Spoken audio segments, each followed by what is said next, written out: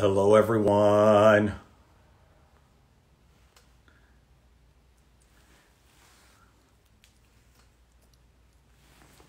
Hey, Lori. Hey. hey, Lori. I'm just about to call in our guest. Hang on for one sec here. Let's see here. Joshua Gershick. Okay. All righty, let's see here.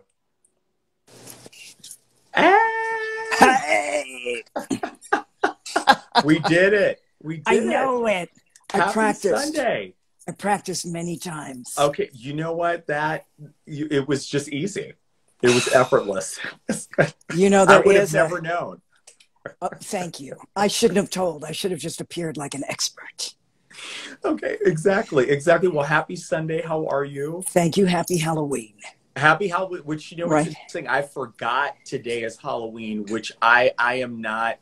I've never been particularly into into. For many years, I was. I never had a costume, and you know, every year at the office there'd be those costume parties, and I was a party pooper. And I just told everybody every year I'm I'm Sidney Poitier's son. That's what I said every year. That was my low stress, low stress. It was a low stress costume, you know, and a fantasy.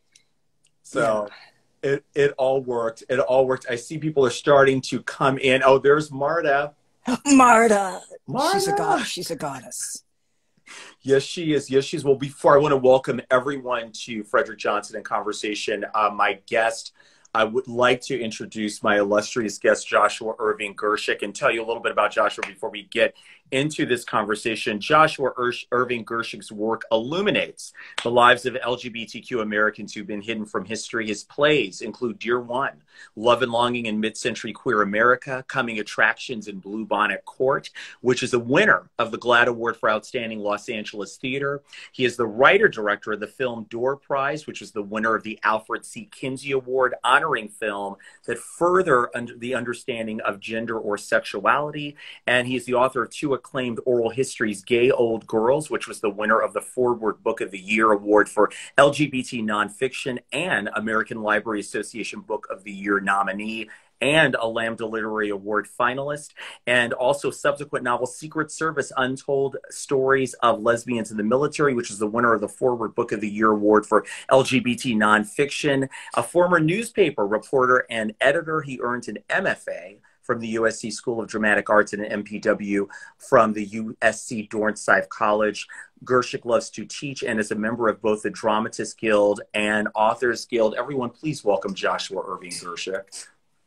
I'm so glad you're here today. Thank you for inviting me. Yes, yes. Okay, so we have a, a lot to cover even Yeah. before we, we get into the latest uh, project, uh, Dear One, which is which I can't wait till we discuss that. But I just wanted to.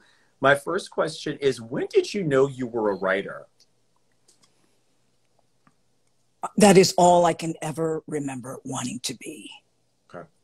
Always. I was always holed up with a book. I read the dictionary. It was a complete nerd. I read the dictionary before going to bed. You know, Really? yeah, it was just ridiculous. And I was a listener. I was a listener. Um, my mother used to tell me that I didn't start talking when all the other kids, you know, began talking. And she said, but when I did begin talking, I spoke in complete sentences. So I was Mhm. listening, Right. you know, I was listening. It wasn't that you couldn't speak; you just were listening. Yeah, I was just listening. And I spent my childhood listening because my parents were older. And that's what you do with older parents. You, Mhm. you sit around with their friends and you listen to their stories. It was a good beginning for a baby writer. Do you remember the first thing you wrote? Yes, uh, it was, you know, astonishingly bad poetry in the fourth grade. It began, I have a little poodle, he's skinny as a noodle. You know, which is why which is why I'm not the poet laureate of the United States. That's look. That is still cute for fourth grade. Yeah, well, Okay. you know, Do, uh, what was it like for you the first time your work was published? Oh, I have to think about that. I was on the high school newspaper, but I don't remember anything but writing a scathing review of a of the of a high school production and having the drama teacher come in and and excoriate me oh, in front of all the other baby writers and tell me I was a hack and how dare I, you know. I don't remember what I said, but it was obviously unpleasant. You know. and look, when you upset a drama teacher, yeah. you know it's it's not good. You know, how dare you? And then I remember I worked for a feminist newspaper. I think I was about 20 years old, just a, a stringer, which is, a, you know, a contributor. Okay. Uh, it was called Plexus. And I remember I did a profile of a woman who was the first out queer gerontologist mm. at San Francisco State. And I think I mentioned to you before about her. She became a friend of mine, and she really encouraged me to begin to sit down with older LGBTQ people and listen to their stories and mm-hmm. collect their stories. Mm-hmm. Mm-hmm. And Which, you know, there's yeah, it's just a, it was an indescribable, um, indescribably joyous feeling to see mm-hmm. your name in print and yes, but but beyond that to see how your work could be helpful in uplifting others and drawing attention to things that needed to be addressed. Mm-hmm. Mm-hmm. And Josh, you've written across multiple mediums because you've written film, you've written, you know, you've written nonfiction books, you've written plays. Um, is there a different methodology for you in terms of writing as you approach these different mediums? Well, they're all terribly scary. Okay. You know, I think and I, I really got a little later start as a writer. I was mostly dabbling and working in journalism in my 20s. And it was only at the end of my 20s that I began to overcome that fear of the blank screen or when I was in college, the blank page, because we still were working on typewriters. Mm-hmm, mm-hmm. And um, so I think it's all kind of scary, but every every kind of writing has a structure. Mm-hmm. For a play, it's a two act structure. For a film, it's a three act structure. For a newspaper story, it's the inverted pyramid, the most important stuff at the top, dwindling down to the least important stuff because editors cut from the bottom up. Mm, mm. You know, or a, a, college essay, you know, again, uh, introduction, body, conclusion. So once you know the structure, then that's kind of a key to enter. Yes, yes. Yeah. I, I want to go back to what you had just started to talk about, um, the whole idea of oral histories. Yeah. Um, I know in in your your first first book, Gay Old Girls, this was like interviews that were a collection of life stories and yeah. lesbians recounting their own stories from, especially like an earlier time in the 20th yeah. century your book after that secret service was interviews with you know uh, people that were that were serving in all different capacities right? Um, telling their stories. So i wanted to ask you like one what is the significance for you of the whole like the oral histories and telling that type of story? And then two as a newspaper reporter did that really inform that type of writing for you Yes. I think that's a really wonderful question, Frederick. Yes, because a newspaper reporter is doing a lot of listening. Mm-hmm. You have to ask the right questions. You have to do the research to know what questions to ask, and then also know when people are off base, out and out lying, or just misremembering mm-hmm, you know mm-hmm. and so that's a i think newspaper reporting was a great grounding mm-hmm. for oral history I, and i really began oral history because i wanted understanding that i was a, a little gay kid i really began to want to hear stories of my parents era from a gay perspective mm-hmm, mm-hmm. but and and i knew gay people my my parents had a number of gay friends. My father owned a restaurant. He had gay employees.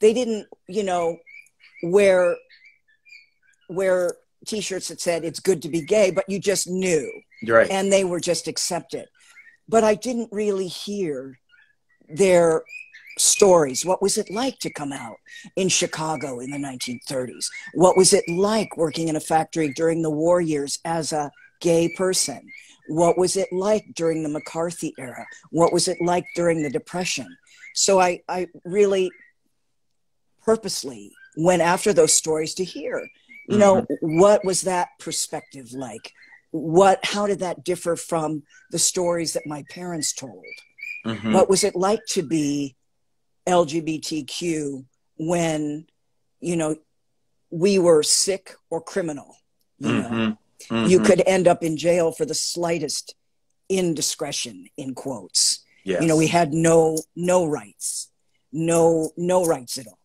yes. what was that like Yes, yes, and you know, I, I want to. This for me is I, it's a perfect lead in to start talking about Dear One because Dear One is it's not the oral histories in the sense of you doing interviews, but it's it's based on the letters.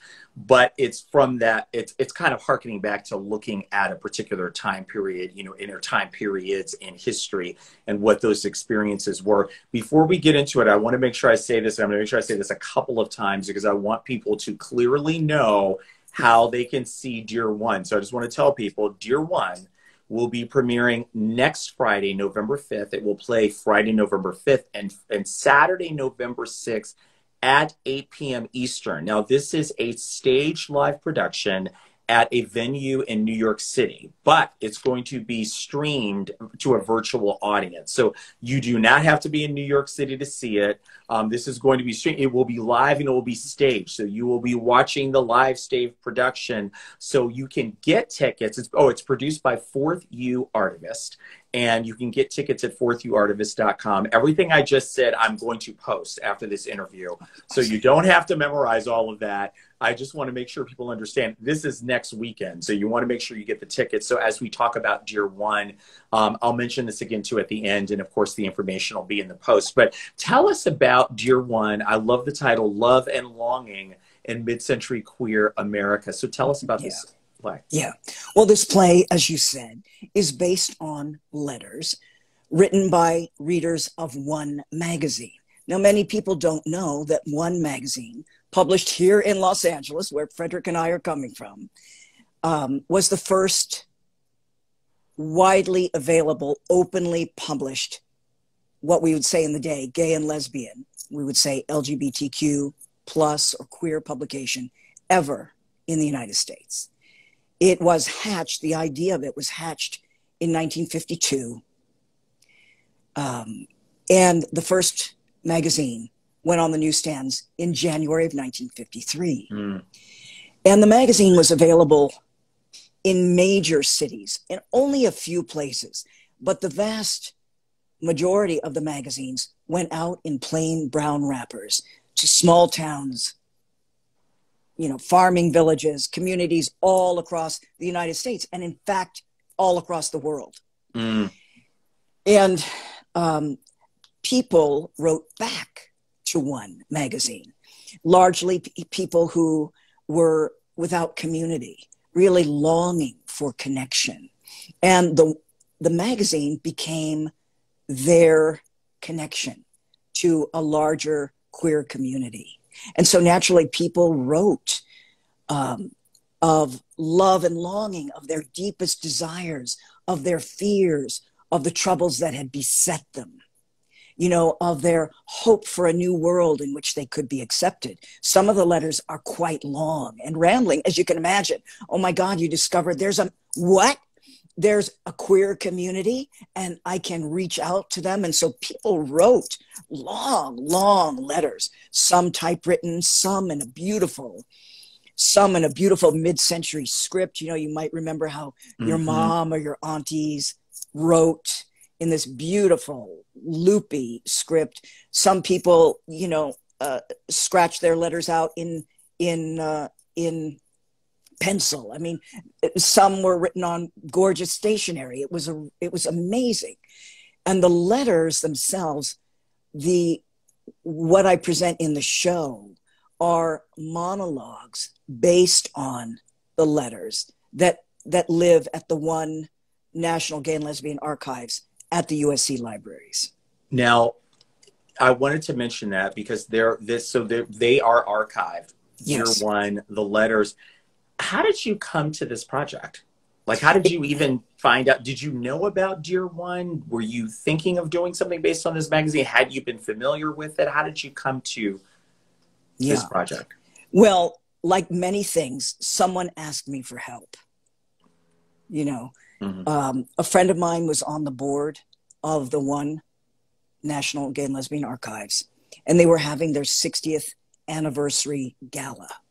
And they realized at the last minute, we don't have any entertainment. Right. And so she reached out to me and said, Can you help us? A, a graduate researcher had unearthed a, an enormous trove of letters, some of which he used for a, um, I think, his PhD project. And he focused on McCarthy very specifically. So they said, Well, we have this box of letters, and you can just here's some here 25 or so letters from the box. Could you stitch together some kind of a performance? So i very i think we had 30 days. And i called on five of my fav, favorite actor friends. Some of them might be here online paul jasek and dalila ali raja and doug spearman um, hunter hughes. And we did a show based on these letters and it was really kind of a quick and dirty, but people were spellbound mm. by the letters. And they elicited so many different emotions. People were laughing and crying. And, and I thought, wow, mm-hmm. I think um, I need to go back into the archive and look to see what's there because again this researcher had been looking at the mccarthy era and that's just one little piece but also his letters were largely from a, uh, a gay white cis male perspective and i thought there have to be other letters in this collection and he had said no not really and i thought no i'm going to go back in. So from 2012 to really just before the pandemic i kept diving into the archive and some of it uh, it's largely really unmined and unorganized, you know. And so I just went back in and I was looking very specifically. The funny thing is, for the last the last um, couple of years, from on and off, I had graduate researchers, babies, you know, from UCLA mm-hmm. and U- USC, and I would say, okay, this is what we're looking for, and I want uh, queer people of color and let's look at this and let's find more women's letters and bi letters and trans letters even though the writers at the time might not have used these specific terms to describe themselves. Look for these themes. And we were quite successful in in finding a number of letters. The funny thing is that with the handwritten letters the, these kids 18 19 20 they could didn't know how to read them because one it wasn't day, typed on a no, computer. They, right? Yeah. And they one day I had sent them on a mission to look for a very specific kind of letter, and they came back with bupkis, you mm. know, zip. And I thought, this can you just went through five boxes? Are you kidding me? And I went back and I fished out all these letters, and I came mm. back and I said, you know, what about this? And they were like, well, we can't we can't read that. Okay like it's hieroglyphics you know right because they're not you know it's so interesting it's a whole generation of people that have that have perhaps never really written a letter so they've right. never read you know they haven't read anything handwritten and especially in in some sort of penmanship that right. that no one has been writing in probably for some time i was gonna i i could only imagine what a huge undertaking this was and I, so when you tell me 2012 to 2015 because I know in your play, the letters that you selected are from 1953 to 1965. Um, but I think Dear One, what did they, I think they went beyond 1965, or was that the entirety of, of the publication? Those 12 years. Those were uh, those were the meatiest years. Okay. After that, there were uh, reprints and uh, kind of a more of a haphazard uh, publishing schedule. So I Okay. looked at that period as really where the meat was. And how many letters, like when you got into this archive, I mean, like approximate, like how many letters are we talking that's in this archive? You know, I, I wish I had researched that question. Just the letters that I alone scanned, it has to be thousands of letters. Wow. Wow. thousands. And I really saw only a portion of them. I'm Mhm. sure there are others there waiting to be mined, Yes. um, but an extraordinary number of letters. And and um, the magazine, you know, the the magazine is archived at at the USC libraries, and anyone can go and read those issues. Mhm. Mhm. They're uh, fully available. And many letters each month were printed. A number of them were not terribly meaty, like, Hi, I love your magazine. Here's $10 for two years subscription. So I was really looking for, for letters that had a real story in Mhm. them, uh, where I could really pull out a middle, a beginning, middle, and end, Mhm. that, where there was a satisfying arc. Right. I was going to ask you, how did you decide, like, on what letters to choose? So I know it was like looking for things that had a story there in the letter. Um, how do you take letters? I mean, this kind of goes back to what we were talking about structure early, but just the whole idea of translating thousands of letters that you've now distilled down to in the case of this production the 40 that you that you chose but how do you translate that to the framework of a play like i it, i can only imagine this was i mean this is a huge undertaking with the research alone It's a, it was a lot. Well, we, I tried really to have a, a chronological arc. We end the last letter in this iteration of the play is written by a chap named Ian Ashton, writing from Canada. And he has just discovered this book, the um, I think it's the homosexual revolution. I might be having a brownout right now by R.E.L. Masters. And he's astonished in this book to read that there's such a thing as a gay community. And the writer who wrote on sex and gender masters, Robert E.L. Masters, uh, is a little uh, is a little um, exploitative. I'd say a little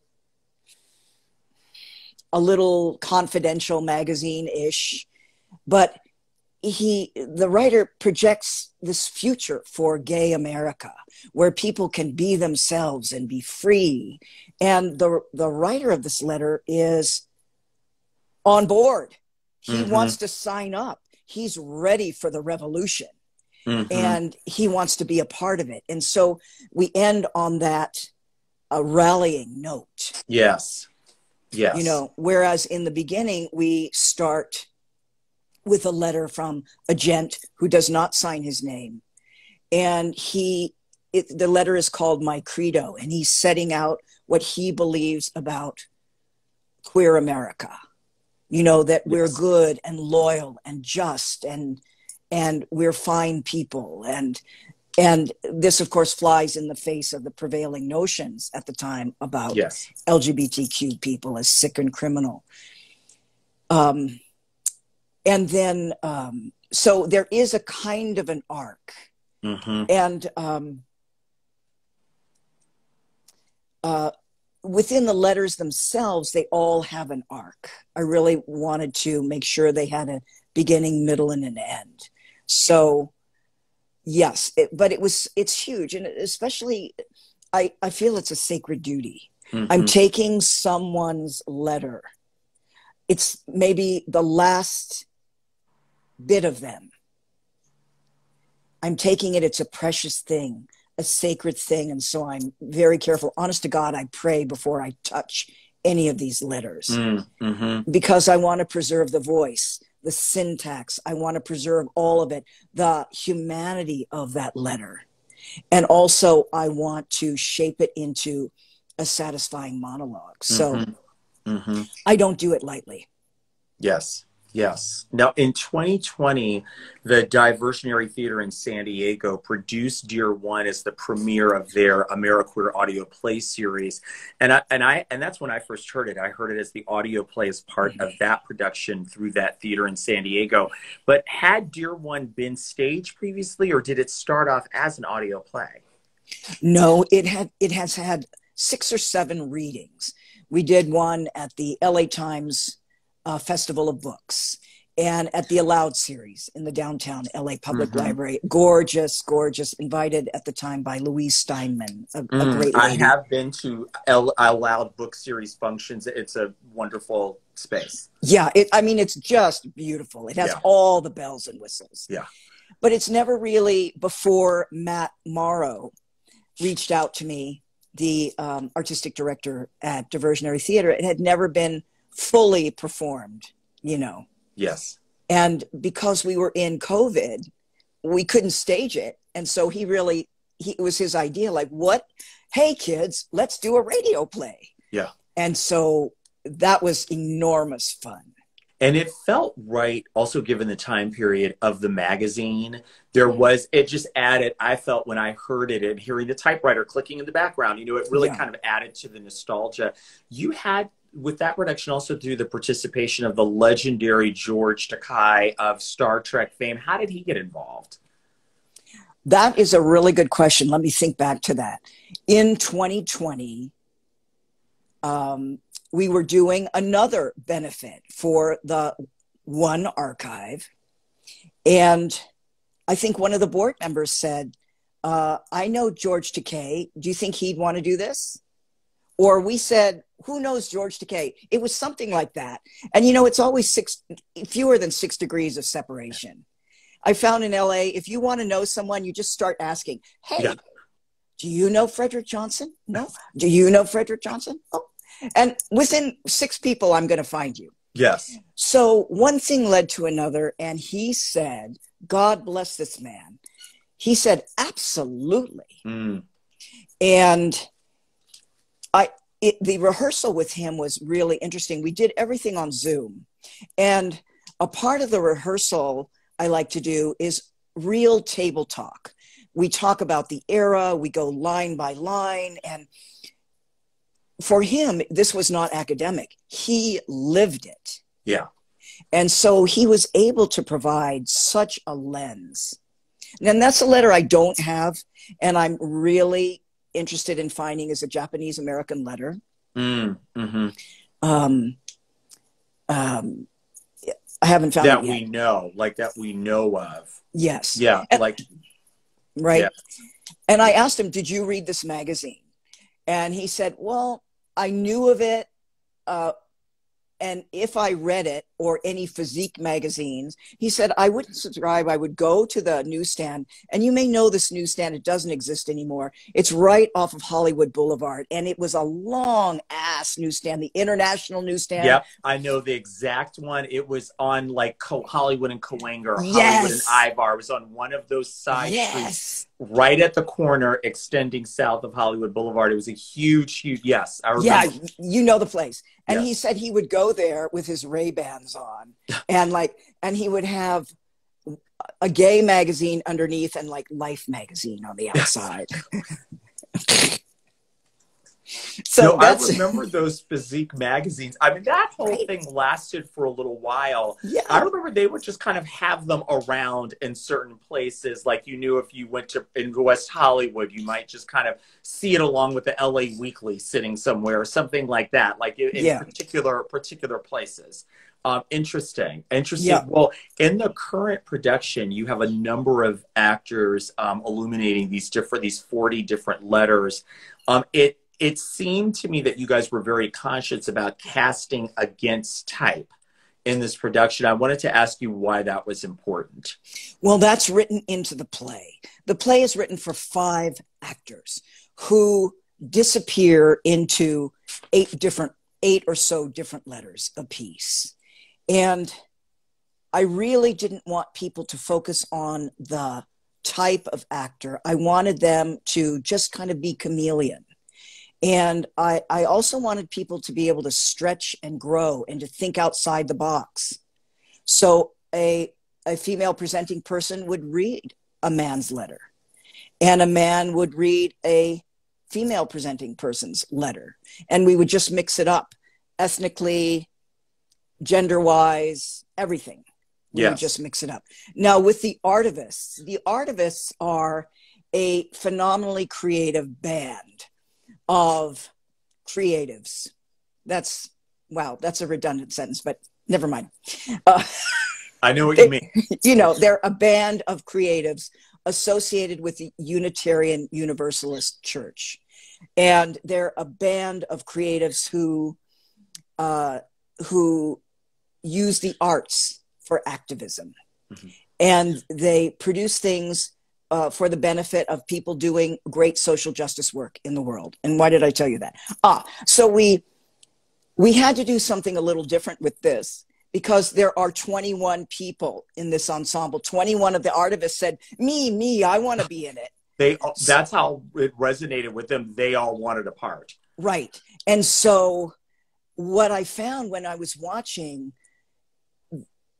I had to change this convention because because we see this actor only one time it, it, was a little odd to see a woman reading a man's letter. It just it for some reason because we weren't seeing this actor again and again it, it wasn't working. So for this production uh, i'm working with the wonderful wonderful nancy robillard who's the director. And we decided no i think men have to read men's letters and women have to read women's letters of whatever kind of woman that is cis trans whatever. Um, non-binary persons uh, we have one non-binary person uh, is reading the editor and they are great.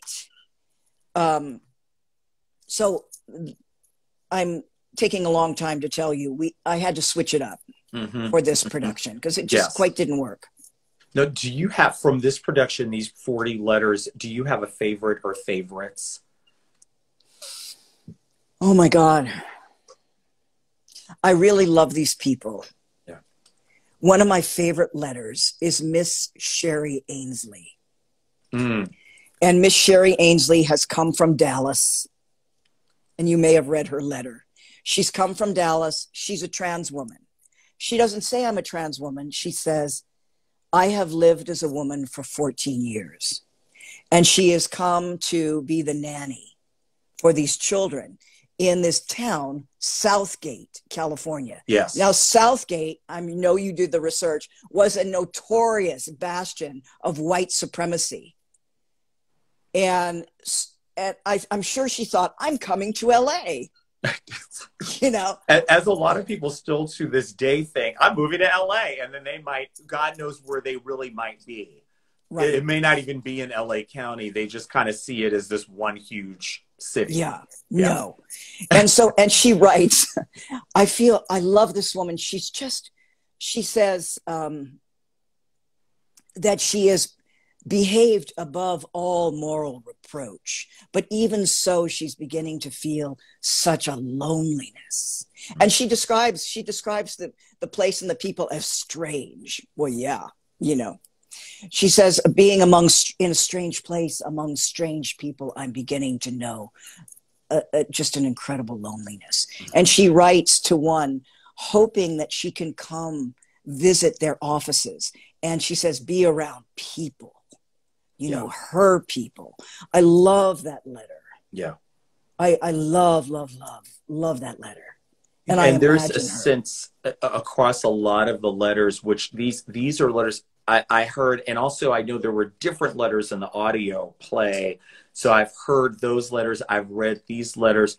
What I found every single time is that these are letters I'm laughing.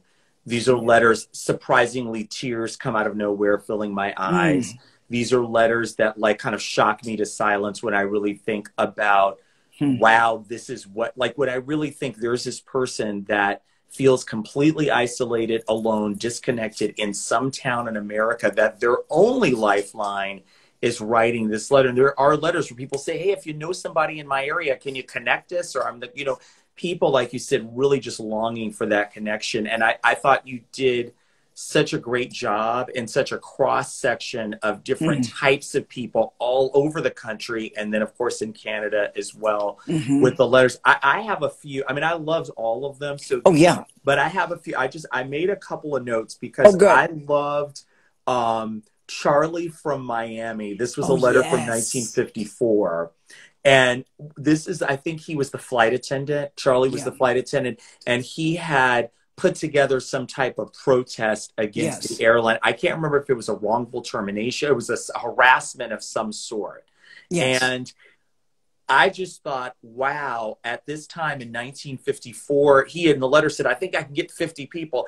And I just, even getting 50 people today, on mm-hmm. my on my own to try to get mm-hmm. people mobilized and i just thought mm-hmm. that was huge that in 1954 he was really trying to mobilize people around this issue you know against an airline you know yeah. as as a flight attendant i love that letter i loved uh, oh god brad from dc this was a letter in 1954 i won't even go into details um, i mean i don't want to give too much away on any of the letters but this is the one about the senator and the yeah. situation with his son um, and the tragedy around that of just kind of like how people the lengths that people went to yeah. for for secrecy and and the shame that they had around like i don't want any it wasn't even his own homosexuality. Was like a son's homosexuality. He was he was trying to um, protect so to speak the identity of. Um, mrs b from santa barbara in 1955 i, I want to ask about this one because this woman wrote a letter that basically said because um, there were women's stories told as well in the magazine. So this woman from Santa Barbara writes and, and basically says, you guys are liars and don't know what you're talking about because there are no women homosexuals. Yeah. And I just thought it was interesting that even in 1955, like, why would she think that there were just no what I mean, do you feel like maybe women were passing a lot more women and i'm asking this kind of going back to gay old girls and secret service like do you think it was easier for women to pass and to, and that's why maybe somebody like a mrs b would actually really think there are no women homosexuals. Yeah. I think that it was much easier if you were a gender conforming female to express affection with another woman. I mean, in Gay Old Girls, uh, Jane Stevenson told me, you know, she's the person who had a husband and a wife. And she said she would kiss her wife in front of the big bay window in their house, in front of God and all the neighbors. But because the neighbors had it in their mind that, well, this was just her cousin, they never even saw it. Right. You know, plus it was not uncommon in the day for women to hold hands, to cuddle, right. to have sleepovers, all these things. Yes. And no one would bat an eye. Yes. Yes. Yeah. yeah. Mm-hmm. Wow. Um, CM from Massachusetts. Oh, yeah. This was the letter from 1959. What I thought. So this was this was the the, the man who was who was basically saying, "I'm going to marry this woman and live my life." Uh, VN. You yeah. know, um, that's the first letter in the play that the editor an editor character responds to. So I wanted yeah. to ask you two things. Like one, why did you was there a creative decision in making okay this is the first letter i want to introduce the character of the editor specifically with this letter? And then two in your research were, did all of the letters get responded to? Like were there tons of letters from editors? And then kind of like how did you decide which letters you knew you wanted to present an editor response to? Yeah. Well, there are editors responded, but sometimes it was just a thank you for your letter, like a little one sheet uh, or a uh, a response to uh, let's say a letter requesting a pen pal or an introduction. We don't do that. Yours truly, the editor. But what I was looking for were very meaty responses. Now, there were a whole handful of editors, male and female, over the course of one's publishing history. And they each had a different way of responding. Mm. Uh, some, in the case of this gent Dorr Legg, was really, he was often kind of curt and very unkind. Um, Blanche Baker was a psychiatrist who had a column toward understanding in 1959. It was just a year long column. And her responses uh, were just gorgeous, you know. So they really ran the gamut and they were full and empathic, beautiful, beautiful, beautiful. So I found that the editors did not respond in depth all mm, the time. Mm-hmm. And that's what I was looking for thoughtful, um, thoughtful responses. There's a, the response to Amanda Schauberger, the blind girl from writing from yes. the Midwest. Yeah. Yes, who who thought who wanted to move to LA again, and they were just like, "Honey, it's ex- more expensive here than yeah. you think." But they yeah. were. I was happy they referred her to, and you know what? I don't know if it's still there, but I remember for years it is passing that in. It's kind of near LACC on Vermont. Yes, it's still there. So when I read that in the letter, I was like, I know that building. Mm-hmm. So they referred her to that like blind yeah. association. Yeah. Yeah. And that was a letter that that letter takes an interesting turn because as you point out, it's very dismissive like, "Oh, the rents are high and there are lesbians here, but we don't know where they are and the ones we know are they're not friendly. alcoholics. yeah. But then the editor takes a turn and says, you know, well, I don't mean to be discouraging, you know, which is ridiculous because the whole letter is terribly discouraging. And then he becomes helpful. Yeah. That letter has an interesting arc. I, I wonder when I read it, I kind of wonder too, like if there might have been like a fear, like, oh God, I don't, you know, there's this a vulnerable single person who who's blind. You know, if mm-hmm. there was some kind of fear of like they're making it seem like almost kind of being protective, almost in a way that you wouldn't want your you're trying to save that younger person from having a bad experience. Don't come to the big bad world of LA. Like you might yeah. be better off where you're at. Yeah. So to speak. Well, yes, and the earlier letters, this is before 1958. So, up to a certain point, they were very, the editors were very careful, and it was an editorial policy. We do not matchmake. Mm-hmm. We will not give you a pen pal. We will not connect you because they did not want to be seen as um, contributing to uh, a criminality. And of course, to be queer was to be a criminal. Right. So they were very mindful in not extending themselves in that super personal way. Things loosened up a little bit after 1980, uh, pardon me, 1958. The magazine, you know, it, it, just a thing being homosexual on its face was an obscenity. And the magazine was uh, often uh, taken uh, off of stands, uh, uh, the postmaster would not deliver it, and uh, one sued the postmaster, mm. and it went all the way up to the Supreme Court. And in 1958, uh, in a very um, in a very important finding, that the Supreme Court decided no, uh, you can't do that. Just because a magazine is about or for homosexuals does not mean that it's obscene Right. You know, so uh, things loosened up a little at that point, but the the early uh, the early editors were very very careful and you could argue that the editor was responding out of that mindset like let's yeah. not yeah I, mm-hmm. I could see that. I mean, it's like they they would not want to in any way, sh- shape, or form feel like they were liable or culpable yeah. or mm-hmm. what you know. It's protective measure. There was a couple of references I remember in letters about about rights kind of like no you need to know your rights really when it comes to using using the mail and mm. what have you yeah. so there it kind of alluded to um, that being something of like great significance with the you know the postmaster yeah. and the lawsuit um, I, the, the last letter i want to mention is yeah. um, ann bannon from right. Sierra Madre, 1960. Now, this kind of sent me, I kind of went into like a YouTube rabbit hole or an online rabbit hole on this one mm-hmm. because I was so, I love pulp novels. Oh, yes. And I have a friend I have a friend who's uh, a, a, lesbian who's been married for a very long time that you know lives here in LA.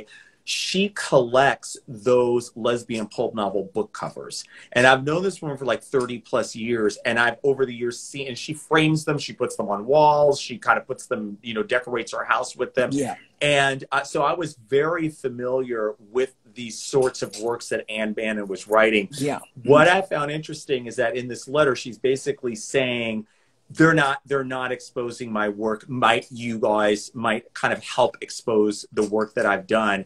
So I, in my i was like whatever happened to ann bannon? Because this letter was in 1960 i look her up.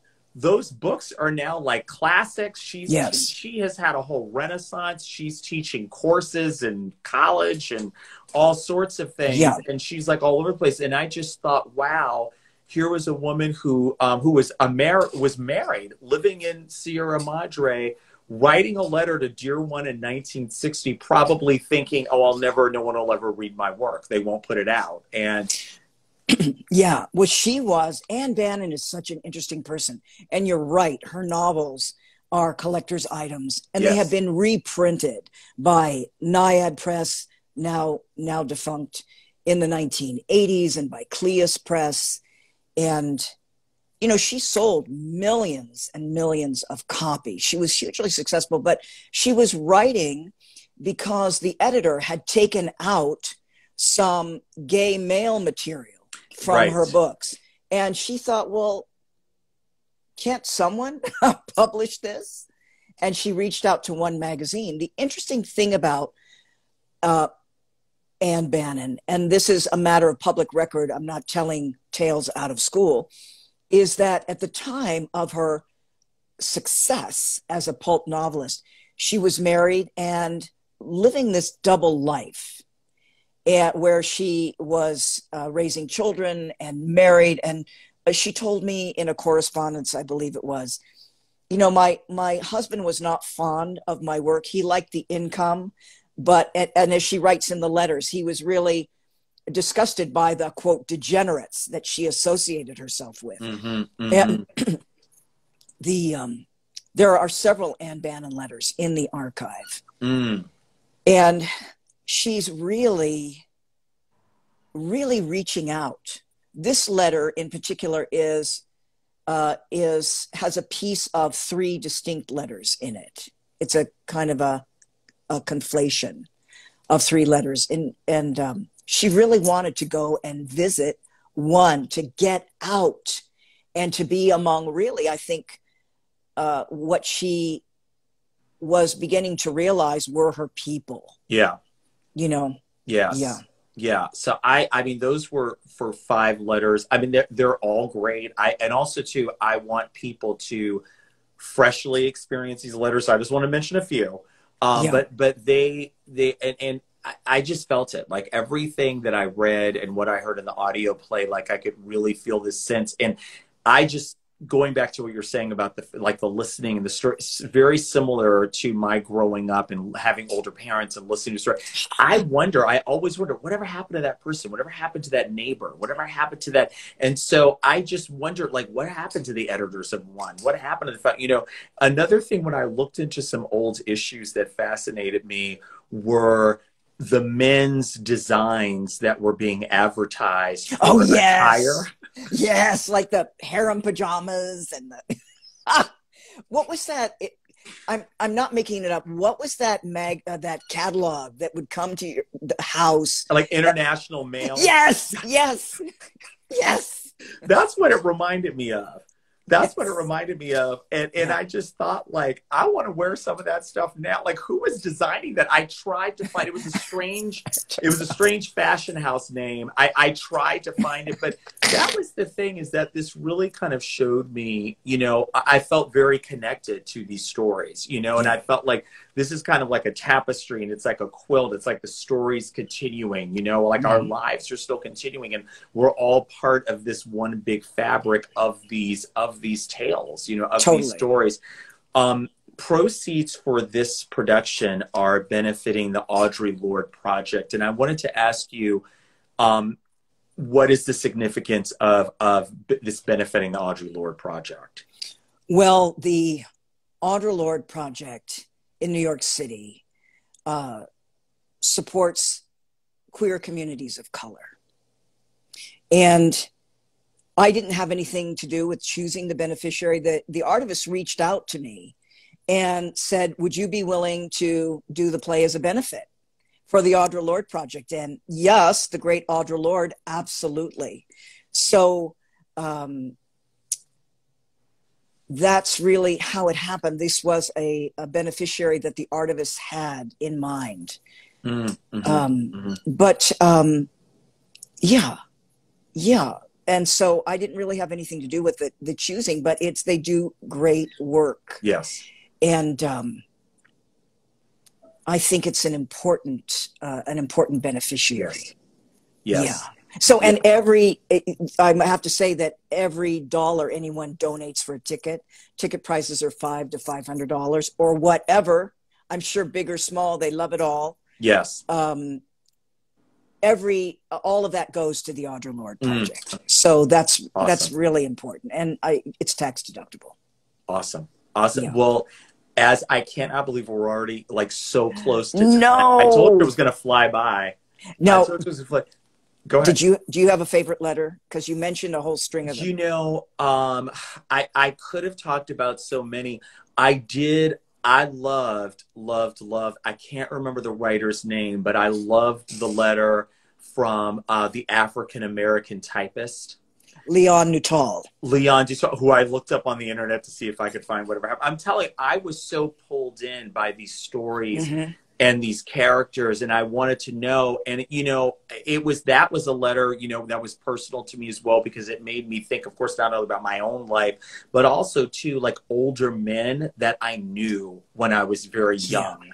that i knew came from this time um, you know i remember my parents had um, the, well, there was a there was a home that was kind of like a very nice boarding house. You probably passed this place many a time. I think it was on the corner of like Adams and Western. It was called the Elegant Manor, and it was a big mm-hmm. mansion on the corner. It's like either Adams and Wilton, Adams mm-hmm. and Western, Adams and Arlington, mm-hmm. somewhere around there. And it used to be owned by this elderly black woman, Miss Moody, Mrs. Moody, and she owned this mansion. And so this is going back to like mid '70s, late '70s. She owned this mansion, and she had the rooms. It was like a boarding house And so it was a gorgeous place. And it was one of those places you could rent a room. It was spacious rooms. You shared the bathroom, you shared the kitchen. It was in a mansion. And she also rented spaces in the house for like weddings, receptions, church services that might rent out the space or a room on a Sunday if it was a small congregation.